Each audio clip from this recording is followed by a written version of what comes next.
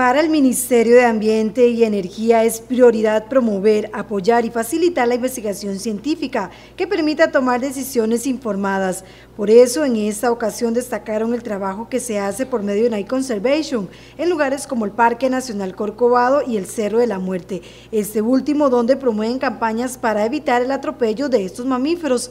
Según la publicación del MINAE, la estabilidad de los bosques tropicales dependen de poblaciones saludables de fauna, en especial los dispersores de semillas y modeladores del ecosistema. La danta la danta, conocida como las jardineras del bosque, es una especie fundamental para mantener la estabilidad del ecosistema. Su presencia favorece la regeneración boscosa, mantenimiento de las fuentes de agua y el secuestro de carbono.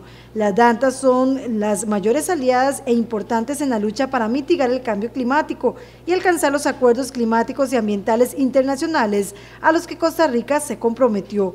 Sus poblaciones se encuentran amenazadas, sin embargo existe esperanza para la especie. Este trabajo lo realizó la Fundación Costa Rica por medio de su proyecto Night Conservation, en colaboración con Asana, el SINAC y también comunidades locales e instituciones internacionales. Ellos trabajan a nivel nacional y regional en la investigación y conservación de la danta centroamericana. Actualmente desarrollan proyectos para entender la relación humano-danta, investigación genética y estudios poblacionales. Toda la investigación va enfocada a lo más importante, ejecutar acciones para disminuir las amenazas que enfrenta la especie.